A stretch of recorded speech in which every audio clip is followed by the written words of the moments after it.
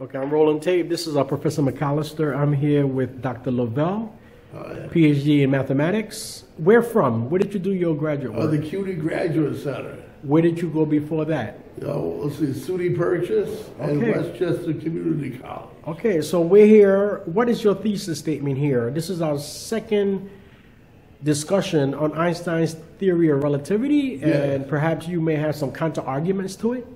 Yes. So let's briefly describe what we went over the last time. Okay, so the, well, the last time we determined that there has to be a stationary reference point in the universe. Okay. So it's not relative velocity, you know, with respect to one's eyes. mm -hmm. It's absolute velocity relative to the center of the universe. Yes. Okay. So go ahead. With that argument in mind, uh, the twin paradox gets fixed, and the Lorentz contraction um, hypothesis gets fixed. Okay. It fixes both of them. Now, when you say fix, what do you mean fix? Uh, the contradiction is fixed. oh, the, okay. the paradox is gone. It got answered. It's rectified. Okay. The flaw is now gone because we now have a stationary reference point to the universe and not to the observer. So are you saying this is a fallacy or? Yes, the twin paradox is a pa- paradox because it's a flaw in the theory, in my view. Okay. And the flaw, see, they relativity, you know, uh, measures distance relative to the observer. Mm-hmm. But that that breaks. That's not good. You know, it's distance relative to the stationary reference point to the universe. Okay. That that's going to fix the twin paradox and also Lorentz transformation. Now, have you designed some kind of mathematical equation to describe this? Because It's just- experimentation is not possible at this point, right? Huh? Experimentation. Can no, this be they've done it. experimented? They've already done it. Oh, really? Okay. They've proven relativity left and right. Okay. Okay. But they just, you know, it got it got fudged. Einstein, I, I, you know, didn't quite get it right. I don't think. Oh, okay. So why don't you go ahead? Because I had a physics teacher Yeah, once when right. I was at SUNY Purchase. Yes. And one of the things he told me regarding relativity is that because the universe goes on forever and ever, Mm-hmm.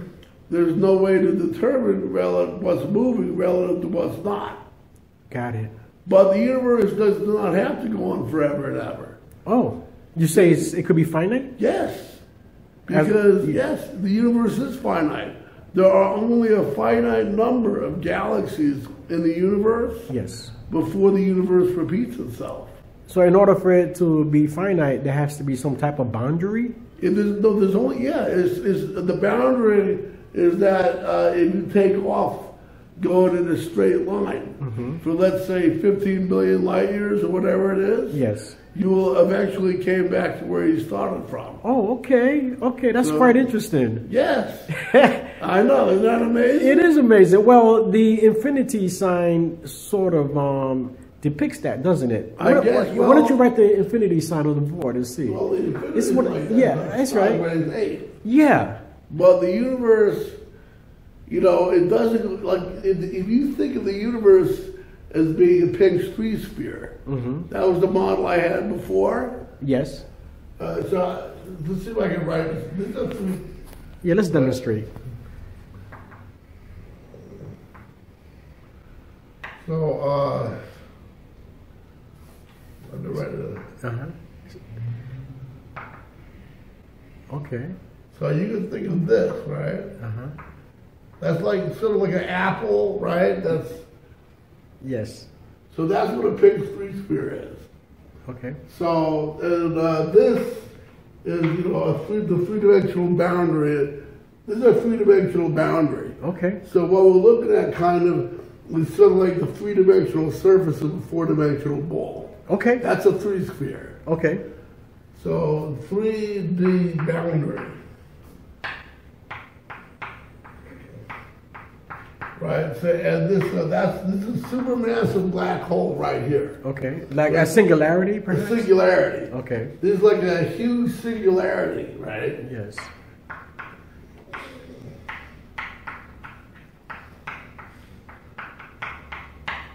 Um, that accounts for, let's say, 99% of the mass of the universe. That much. That much. Okay. Yeah.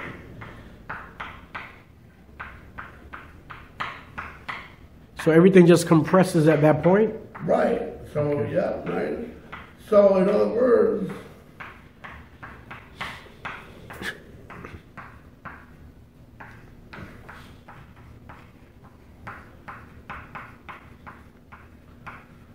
so basically this object is so heavy compared to everything else. Mm-hmm. It's so heavy that you can't move it. Is that right? Okay. Super, Right? super That dense. object- Yeah, it's so heavy.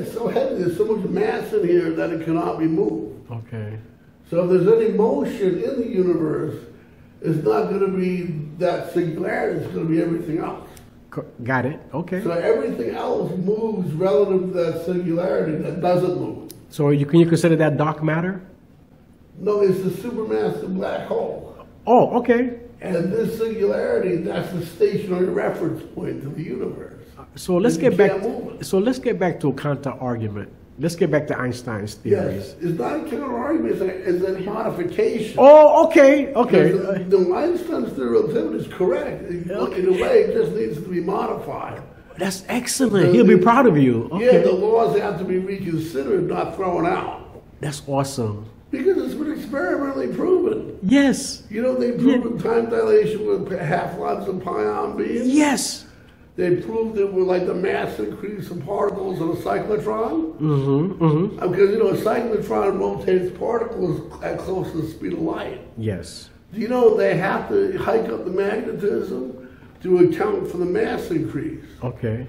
right? Because if they don't, the particles are going to fly off of the out of the cyclotron. So you increase the ma- the magnetic The field. magnetic field, or the, whatever it is that's pulling it together, Okay. because the, the particles are going to become supermassive. So could that be described through Maxwell's equations? No, no, it's it's It's a different uh, type? This is Einstein's. Well, Einstein, you know, says he did this. Okay. M equals m naught over the square root of one minus b squared over c squared. That's mass increase. Yes. So, uh, oh and um, I, I said to him, I said, "Oh, you make your calculus?" He said, "Yeah, yeah," and I said, "Oh, uh, you know, you know, um, you know, I like you know, relativity is like a fascinating subject. Is it just seems that the Lorentz contraction uh, theorem leads to a contradiction?" And he said, "You're smart." Okay. So I guess he might have agreed with me, you know. Well, if folks out there don't know Michio Kaku, uh, he's a world-renowned nuclear physicist This right? yeah. at, at CUNY Graduate Center. Yes, he, yeah, he teaches there. That's where I went. Yeah, I, well, when I was in the city, I had several conversations with him, but um, I was never at that level of his, you know. But Oh, anyway, yeah. Any, anyway, and plus he's into science fiction as well, Okay. and parallel universes and um, superstring theory. Hey, that, that doesn't have to be science fiction. Right. That's right. That's right. That's right. Relativity is not science fiction. Is that right? Relativity is a science. It's a fact. Yes. It's been experimentally proven all over the place. Okay. So why don't we just continue where you left off the last right. time? So last time I proved that the stationary reference point to the universe is right here. Okay. In a supermassive black hole. Yes. So anything moving relative to that black hole will be moving. Mm. Right? So here's the stationary reference point right here. Okay. So now I realize that you know, the speed of light is not relative to the observer. Okay. Is relative to the stationary reference point. Okay. So here's my setup, okay? Yes. Let's see the setup. This is my experimental setup. Could I erase this? Erase it, Yeah. and then I'm going to pause for a second to, for you to get back after you draw everything. Okay. Say yes. Just a second. Here. Okay. All right. I'll keep rolling. Go ahead. So here's a spaceship, right? Yes. So here's a spaceship going, you know, going um, to the right, close to the speed of light. Okay. So B is essentially C. Okay. And here's another spaceship, you know, uh, going to the left at V is uh, roughly the speed of light, Okay. relative to the stationary reference point. Okay. So we're not talking about velocity relative to the observer anymore. That got thrown out. Okay. It's velocity relative to the black hole, Yes. the stationary reference point. Yes. Now, and so anyway, how fast, this is, so this is ship A, right? Mm-hmm. And this is ship B. Right. So how fast is ship A moving with respect to ship B? It should be moving at the same speed, right? Speed of light? Yes. No. Why not? It's because this is going this way, the speed of light, Right. and this is going in the other direction, the speed of light.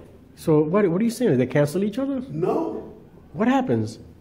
Ship A is going to be moving towards ship B Right. At roughly twice the speed of light. Wait. Yes. Wait. Wait a minute. Yeah, But aren't they moving towards each other? they are. How's that possible?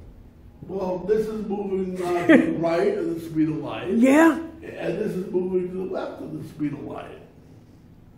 Okay, continue. So this, okay, this is going to be move. A is going to be moving toward B, B, yes. at close at two times the speed of light.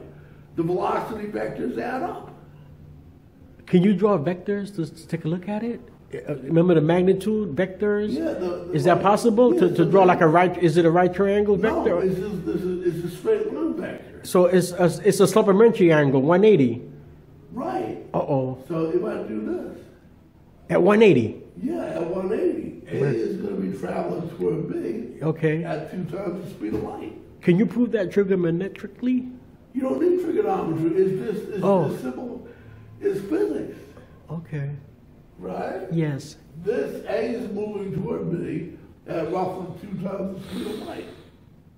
Okay. It's hard, it's hard to conceive of this Yes. for real. That, that breaks the light barrier. How about B approaching A? Is this twice the it's the same speed? thing. Yeah, it's the same thing. They, they approach each other. They approach each other at two times the speed of light. And the speed of light this way plus the speed of light the other way. I mean, if you're in a car, right? Yeah. You're in a highway. Yes. You're going 60 miles an hour this way. Right. And the other car is going 60 miles an hour in the other lane like this. Right. How fast is car A going past car B? Oh, they both add up to a certain Yes. degree. 120 miles an hour. Yes. Okay, I kind of see that. That's a good So, example. see, yeah, That's so a very practical example. Yes, so 60 miles an hour plus 60 miles an hour means they're going past each other at 120 miles an That's hour. incredible. They add up. Yeah, You made us. That's that's a very practical example, yeah, as opposed to dealing with spaceships. yes. Okay, continue. Okay, now here's another thing, right? So we have that. Yes. Now, so let's say both of them are traveling, let's say, like 99 one hundredths of the speed of light. Okay. So let's say this is 99 over 100 C, and this is also 99 over 100 C. Mm-hmm. Okay? Right. Now, they're both uh, traveling at the same velocity. Right. That means they're both in the same relativistic reference frame. Yes. That means that one is not traveling to the future relative to the other. Okay. They're at the same speed, so they're at the same um, Time dimension. Yeah, they're the same time dimension. Okay. They're traveling through time at the same speeds. Okay. So the, the, they're both going to be traveling in the same reference frame. Yes. That means that if you have an observer on the ship, here's a person on, on the ship uh, A, right? And here's another person on ship B. Okay. So person A, I mean, person A is going to see person B move regularly. Okay. He's just going to move with ordinary speed, you know? Right. His motion is not going to, he's not going to freeze, and he's not going to be moving at 100 miles an hour. Right. Because if you go, if you're, you know, like you're accelerating close to the speed of light, and you're and you're soaring into the future, you're going to see everybody else Slow down. move, no, speed up, Speed up. really, really, really fast. And you slow down. And you slow down. Yeah, they they will see you be suspended in time. I mean, they'll see you motionless. Yes. Yes. So, right? You're Yes. to be like frozen. Right. That's the whole idea about time travel. Yes. Is that like an hour for them will only be a second for you Yes. because you right? Yes. But if they're both traveling at the same velocity, then they're both moving normally relative to one another. Okay. That means that it's, it'll be possible for an observer on the ship A, right? Mm-hmm. Let's say he throws a baseball. Okay. So he's gonna throw a baseball like this way, Within the ship. yeah, in the ship. So he's throwing a baseball. Well, he's like maybe outside. He's outside of the ship, Okay. but he's uh, with a regular normal speed, just like you and me. Right. So he has a baseball, right? Because his, his speed has not been speeded up or slowed down, he, he's gonna throw a baseball like this. He can throw it at the speed of light Wow. because his movement is not going to be sped up or slowed down. So so everything is additive, right? In Yeah. terms of his It's- arm his it, arm. It builds on each other. Right. It's like it's like a inductive argument. Yes. This is like this is proof by induction. Okay. So he's moving at the speed of light from left to right. Yes. Because he has regular average velocity like you and me, Yes. he's gonna throw a baseball like if he were like better than any a gunman. Throws he shoots a baseball out of a gun, and, and when he's gonna throw a baseball at close to the speed of light this way, Yes. he can do that Yes. because his velocity is not slowed down or speeded up. Right. So his velocity can also be the speed of light. So if he's traveling the speed of light this way, and he throws a baseball at the speed of light away from his spaceship, Mm-hmm. then you know he, that, those velocity vectors will also add up. Yes. And the speed of light from this baseball, right? You know, the speed of light plus the speed of light, this baseball It would- going to be traveling this way at roughly Twice the speed. twice the speed of light. Right. Along with the spaceship. Yes. Okay. You know, you know, from the spaceship, the spaceship is traveling the speed of light. Right. The baseball is traveling the speed of light from the, away from the spaceship. Yes. So that the, the baseball can be traveling two times the speed of light through space, Yes. relative only relative to you. So if this is going to two C, and you're still going at, at C, right? Guess what? The velocity vectors are going to add again. Okay. Right. Oh, oh, don't tell me you're gonna get four C. No, you're going to get three C. Okay, okay. See, it's Okay, improved by induction. Right, right, right, right. So I get you. this thing, the, here's the baseball. Right. You know, here here's you, right? Right? Mhm. And this baseball is going to be going past you at roughly three times the speed of light. Yes. Right? I got that. Yeah. So, so that's to three. So now let's say that we fit like maybe this is not a space a baseball. Maybe this is a jettison. Okay. So there's like a uh, like a ship that jettisons off on a big ship. Yes. So let's say we put an observer on that ship. Okay. So the observer should see you traveling at three times the speed of light past him. Right. But then, let's say you jettison a ball off of your ship, Mm-hmm. right? Mm-hmm. You know, and then so you jettison a ball off, or, or jettison a ship, right? But because, you know, so now, uh, this guy, right, is going to see you basically traveling with smaller velocity, so you'll actually be even quicker. Yeah. So you, you still, you know, so you're going to be moving very fast compared to the guy who jettisoned off. Right. It could be like 3.5 C, No, 4C. 4 C now. Okay. Because you see, you will be going very, so then you jettison a ship off, Mm-hmm. you know, with, with close to the speed of light, right? Mm-hmm. So then we have, so then the ship, this ship, is going to be, you know, uh, roughly 2C. Right? this, this, the mothership is this way at the speed of light. Yes. The shuttle that jettisoned off is also at the speed of light away from the ship. Yes. Because the velocity isn't slowed down, it's speeded up. Right. Right.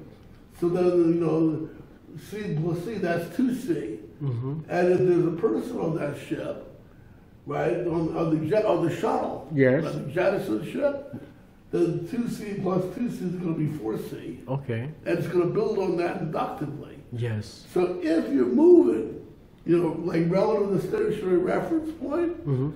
so it's possible for you to travel, like this goes on forever. So you could be going like, you know, like, um, you could see another ship, right? Mhm. Going like at a hundred times the speed of light toward you, right? Wow. Good, but that's only if you're moving. See, the laws, of, you know, the speed limit of light only stays that way if you're not moving. Right. But if you are moving, Right. I got it. then it doesn't really apply. Right. Right. So nothing travels faster than the speed of light, but only if you're more or less stationary. Yes. But if you're not stationary, if you're the one that's moving at the speed of light, That's right.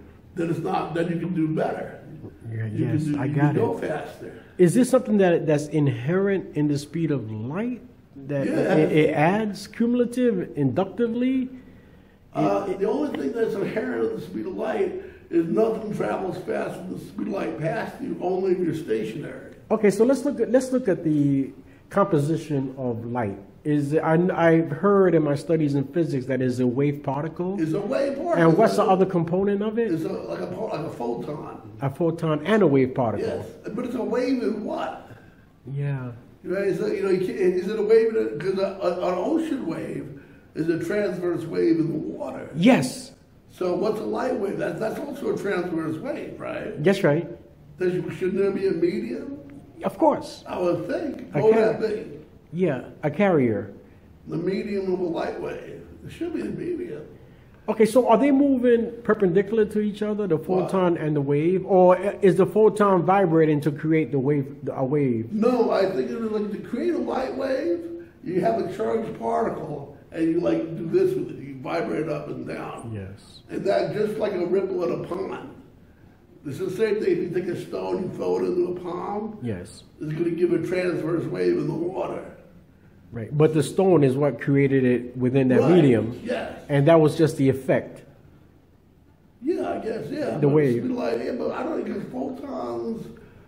I mean, they're created like, um, like I think like if a part, of some type of particle, you know, loses energy, Mm-hmm. that energy is given off as a photon. I think. Yeah, you're looking at the energy band, aren't you? Right. Yes. The the, the atomic structure. Oh, right, right. Or And the uh, electron Right, shells. Yeah, electron, and an electron absorbs a photon of the right energy, then it, it, gains energy and it goes to a higher shell. So, so if it goes to a higher shell and it moves towards the ground state, it's going to give off more energy. If it moves to a higher shell, it takes in energy. Right. But if it goes to the ground state, it'll give off energy. which is uh, enthalpy or entropy. Could you bring thermodynamics into this? It's quantum physics. I, I don't know about thermodynamics. Okay, okay.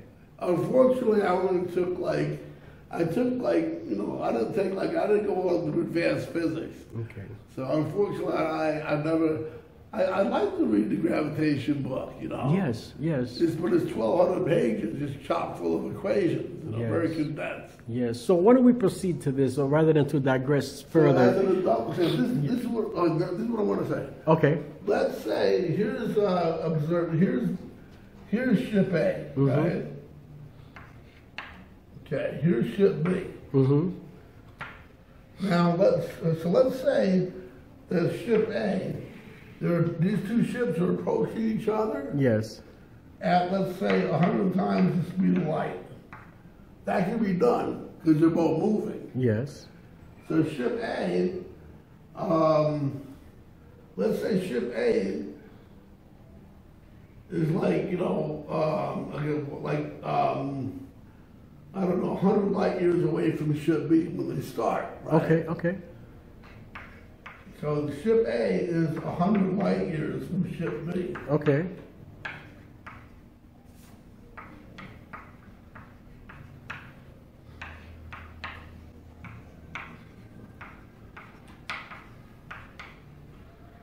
So because they're coming together at close to the speed of light, Mhm. I mean 100 times the speed of light, they will hook up in a year. They'll, they'll meet each other in a year. Okay. So they basically, you know, um, It's almost like moving back in time. not moving back in time, but they're moving superluminal. They're moving faster than light. Okay.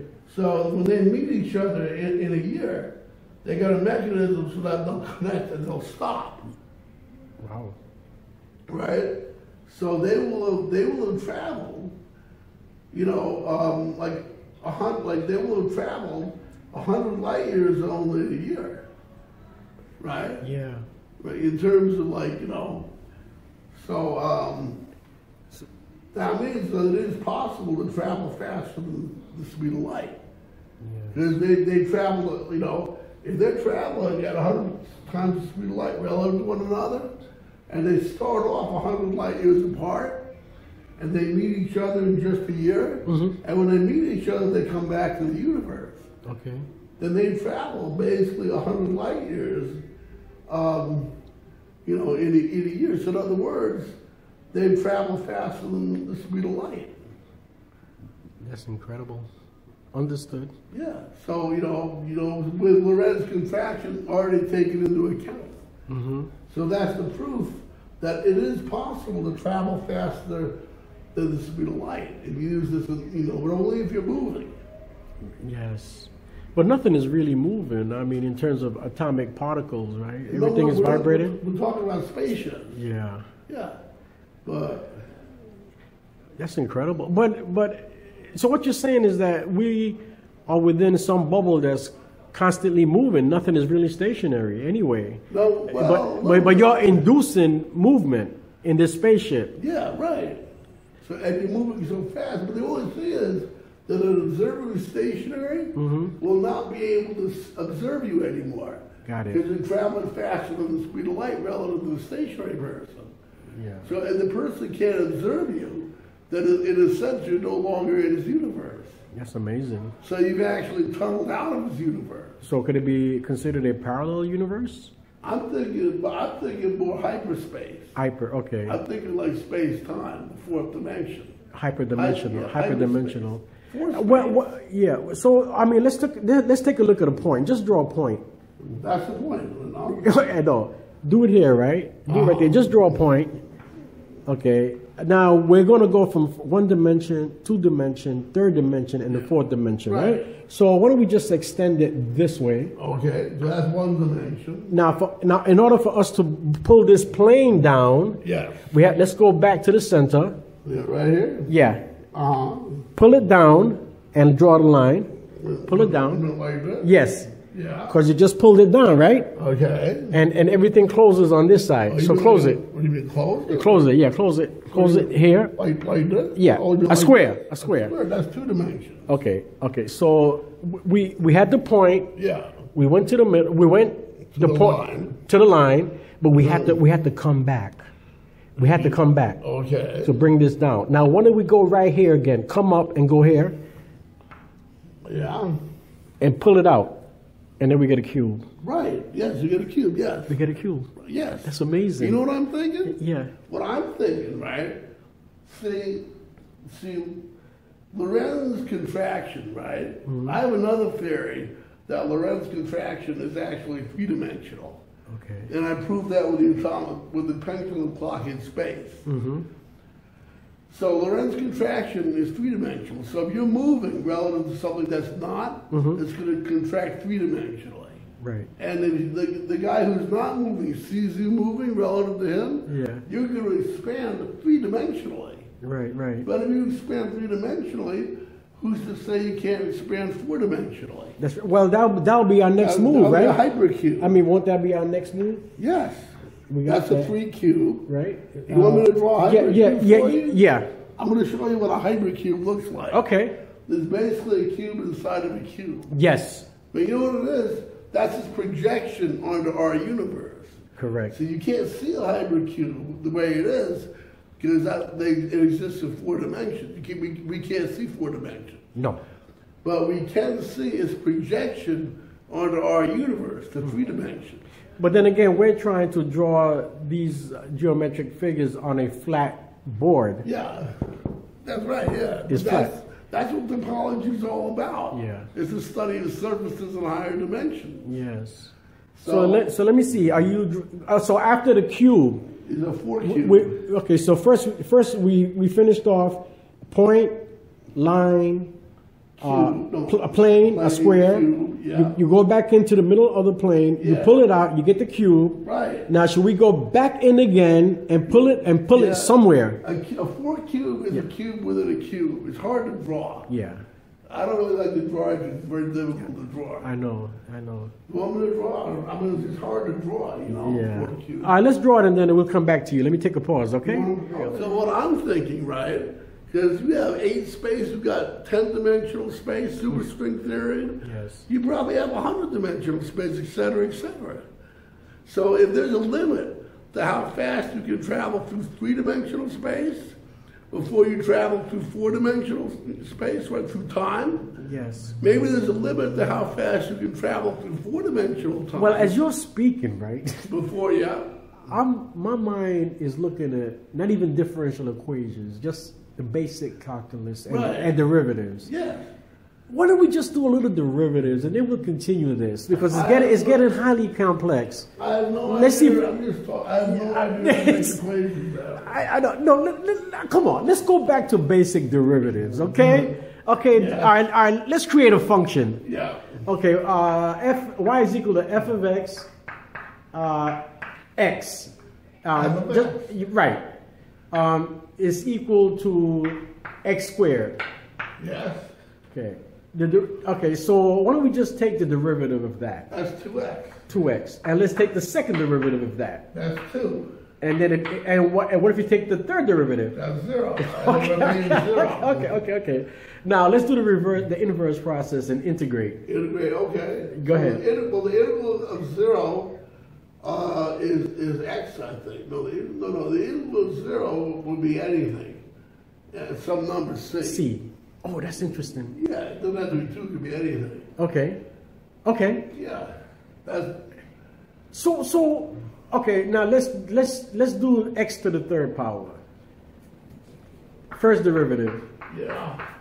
That's x two. So first derivative. yeah, f prime of x is three x squared. Right. Uh, give me the second derivative, six x. Right. The third, six, and the fourth, back to zero. Right.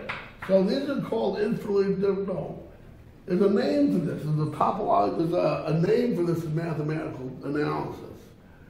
Infinitely differentiable, I think. What is it? Infinitely dif- indifferentiable. Yeah. Infinitely differentiable. You can just Right. differentiate and take the derivative forever and ever. Right, right, right, right, right. So, how does this brilliantly? Is there any relationship between this and topology and this? Oh, the- topology, yeah. Topology generalizes the, the spaces in general. okay. Topology is like you have a map from some space to another. Yes. Like in the, the universe, the way I see it, right, is not quite a three sphere, and it's not quite a three torus. It's something in the middle of it. Okay.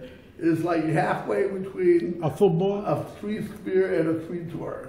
Okay. Why don't we? Um, why don't we just draw x squared on an xy plane? Let's see what it looks like. Okay. Let's do it.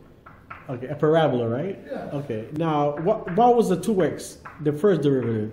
That's two x. Okay. And the two. A constant and a zero. That's the x axis. Okay, let's do this one. The x cube. X two. Right, right, right. I just want to. I just want to see it. Okay. yeah, X two. yeah. I don't know if it has any relevance, but we'll That's see. X two. Okay, the first derivative. That's three x squared. So It's a parabola again, right? yes, it's like this. Okay, okay, okay. All right, give me the six x Six x. and the zero. But you got to have the six first. Right? The six, yeah, yeah, the six. Right, that's the six. And then the zeros here. The zero's there. Yes. That's that's an infinitely differentiable function. It's, So as it goes on, you know, it's fascinating that they should create a mathematics like this. but I That, that was Leib, Leibniz, Leibniz, Leibniz or Newton. Who did the calculus? Oh, was that oh, the- Isaac Newton or yeah, Leibniz? before it goes back, calculus I think goes back to like the 15, 1400s. Wow, Goes back a long time. Wow. I mean, algebra goes back like a thousand years ago to the Arabs. Yes, Hindu Arabs. Right. Yeah. Well, this is fascinating. So I guess there's really no relationship between this and, and the hyperdimensional space that you speak well, but about. you know, but you know something? You know what I'm thinking? See, th- there's a limit to how fast you can travel through four-dimensional time Okay. before you start traveling through five-dimensional time. Right. And there's a limit to how fast you can travel through five-dimensional time Sure. before you travel through six-dimensional time. Okay. So six-dimensional time would correspond to like six space, Okay. right? Five-dimensional time would be five space. Right. So five space is like hyper hyperspace. Right. Right. Right. Right. and then right. you know, and yeah, and if it's like you know, That's the whole idea about like the unified field theory. You know, has to do with that. Yes. Yeah, Yes. You have, you know, hybrids, you have four space, five space, eight space, you know, uh, Minkowski eight space, H Weyl ten space, et cetera, et cetera. So if we were to exist in those There are many- dimensions, Yeah, but yeah. our bodies couldn't take it. I mean, Yes, this no. physical body. Well, I don't know. I don't know if I want to be like, uh, you know, living. For me, to, for us to live in four dimensions, you'd have to. It would reveal who we are in the fourth dimension. Right. It would reveal our bodies in, our, in the fourth dimension. Right. Right. right? And what do you think we would look like in, in our in the fourth dimension, right? That's true. I mean, it could be like I mean I don't know. Yeah. I, I'm a, you know there might be extensions to myself that I don't even know in the fourth dimension Correct. Why Or, not? or, or maybe you could do bilocation and be in two places at at once. once. Like maybe you know what I'm thinking? What if my brother died? You know, let's say 2018. Mm-hmm. when you know I'm, I'm just saying right but uh, went back through time was reincarnated as me Right. Right. then he would be a four-dimensional extension of myself That's right. so if i were to live in four dimensions i'd have me and my brother the same you know we'd have the same we'd be one person Right. Right. i, I, I wouldn't know if i would want to do that No. No. Because, because no. Because you don't want to lose your identity. right i'm not my, my yeah so I mean, that's what I think, right? Yes. If there's a speed limit, you know, to how fast you can go through space, Yes. there should also uh, be a limit to how fast you can go through four-dimensional time Correct. before you start traveling through five-dimensional time. And then there's a limit to how fast you can go through five-dimensional time before you start traveling through six-dimensional time. So what you're saying is that each of these dimensions has their own sci- scientific laws, yeah, it has their, their different own laws limit. within it, different laws within it. Yes, yes. So And, I- and you're trying to express this with this three-dimensional finite physical Right. space. I mean, there's a limit, you, Yeah. you know, to how fast you can travel through space before you start traveling fast through four-dimensional time. Right. But remember, there are many, there are like infinite dimensions of time. Yes. There's only three dimensions of space. Right. Oh, right, but right, right. infinite dimensions of time. Got it. Yes. Got it. Got it. So four-dimensional time is probably a limit to how fast you can go through that yes. before you start traveling really fast through five-dimensional time. Right. And there's probably a limit to how fast you can go through five-dimensional time Wait a minute. before Are you, you start traveling through six-dimensional so? Are time. you et cetera. saying there's there's a di- direct correlation between space and time? Yes, why not? Okay. I mean, they're, they're almost the same thing. That's why a lot of physicists call it space-time together. Wow. So wait a minute, but you put more emphasis on time, though, Well, in terms yeah. of moving through these different dimensions. Yeah, I mean, I'm sure that the And not speed of- space. yeah, if there's a limit to how fast you can travel through space, then there's probably a, a, a, a limit to how fast you can travel through So why four-dimensional time? Why time? What is time? Because time is the fourth dimension of space. That's what, according to Einstein, time is the fourth dimension. But but that's where the relativity comes in Yes. because my time might not be the same as your time. Okay, well, if we're the same velocity, then it is the same. Okay. So there's, I'm sure there's a limit to how fast you can travel through four-dimensional time, just as there's a limit to how fast you can travel through space. So if you had to describe time with another word, what if time wasn't in Webster's dictionary? Can you find another word to describe? time? Yeah. I don't know. Okay, is there a synonym for time? Uh, I don't know. Energy, maybe. I don't know. I mean, Energy. That's well, interesting. That's interesting. maybe. Yeah, yeah. Right? Or maybe we need to look at the word time in other languages. yeah. Right? Yeah. In Arab, you know, maybe other Russian. Okay. I'd like to know what it is in Russian, Ukrainian, Right, right. the Slavic languages, Yeah. Spanish. Well, in Spanish it's tiempo. Yeah. Now, if you're dealing with music, there's time in music. You could Oh, ask yeah. Beethoven and Chopin. Yeah. So you count with time. Okay. You know, but- and there's different type of meters in time. Three, four time, one, two, three, one, two, three, one, two, three, or four, four. One, two, three, four, one, two, three, four. Yeah. But then I could speed it up. One, two, three, four, one, two, three, four, one, two, three, four, or slow it down. Yeah, One, two, oh, okay. three, four, Oh, yeah, one, two, right. three, four, one, two. So wait a minute. there's different tempos to time. Okay. That's what you're saying. The Well, when tempo. I said the different dimensions, I like the three dimensions of space. yeah. And there's probably, you know, infinite number of dimensions of time. Oh my God. Yeah. But that's the same thing that happens in music with rhythm and meter. You guys know, there- there's infinite right. Time. Because yeah. you can talk about, you know, you ever heard of Minkowski eight space? yes. Kaluza Klein six space? Yes. H. Weyl ten space? Yes. That's ten dimensional space. yes. eight space is eight dimensional space. I've heard of it. Kaluza Klein six space. Yeah, six dimensions of space. Wow. So like eight space, that's three dimensions of space and five dimensions of time. This is incredible. That's eight space. We're gonna have to end it right here Okay. because it's just like it's too much for me right now. Yeah. So we'll continue. Sure. Thank you, Dr. Lovell. No. Yes. No Okay. problem. All right.